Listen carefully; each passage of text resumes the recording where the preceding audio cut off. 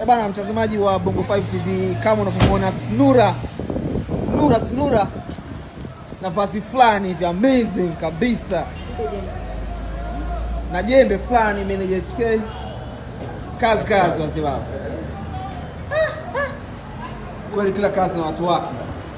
Hey. eh? Mkulima. Sasa sisi restaurant chakula uwe chakula. kabisa kabisa kabisa. watu na kazi zao, wanaelewa kazi zao.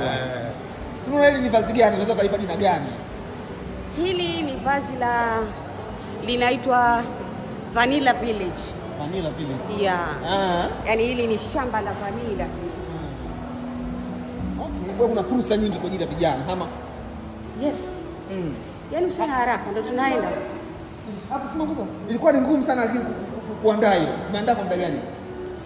Ah, ili vazi kwa kweli nimeliandaa kwa muda mrefu. Ah. Kwa siku moja lakini shughuli yake si ndogo. Kabisa. Alafu ni vazi ambalo nimelibuni mwenyewe, nimelitengeneza mwenyewe.